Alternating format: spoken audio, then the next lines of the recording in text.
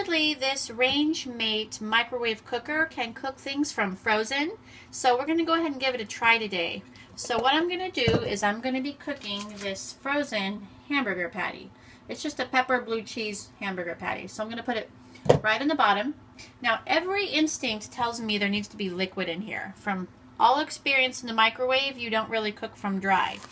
The manual doesn't say anything about putting liquid in there when you're putting in frozen meat. As a matter of fact, it states right down here where it says feature 3 that the uh, rapid cooker performs the best in waterless cooking. So I'm a little nervous about this, but that's kind of the indication there that I'm getting. So we're going to do four minutes on one side, flip it over, and do four minutes on the other. Let's see how this goes. All right, it's been in there for first half. Let's go ahead and get ready to turn it over. Eh, not so much for grill marks, but it is cooking.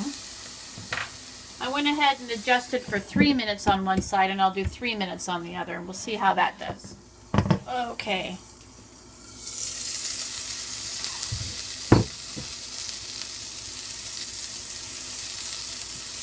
See how the other side came out.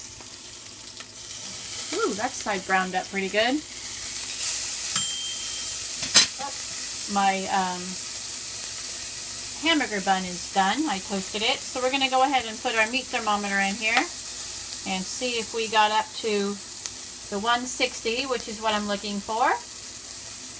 It made it up to about 143, which would be uh, rare, and I really like uh, my hamburger to be closer to medium to medium rare. So the minimum I'm looking for is 150. So what I'm going to do is put the lid back on, and this should hold some residual heat, and I'm just going to leave it on the counter for several minutes and see if it can get up to that 150 while it's sitting in there resting. That worked a charm. It made it up to 154 while it was sitting here.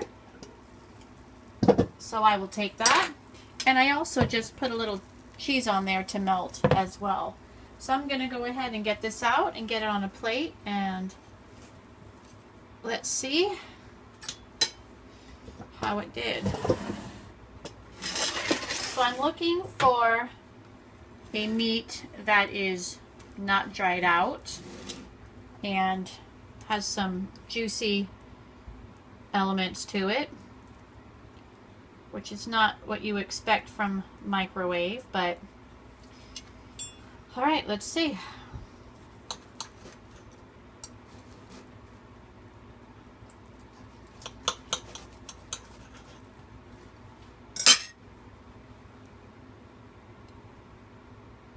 So it is cooked all the way through.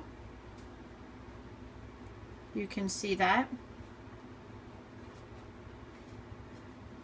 Let's go ahead and have a taste. Mmm. It is juicy. Me focus. Sorry about that. So, it didn't dry out. If I can get in here and show you, let me get up close. But when you put the uh,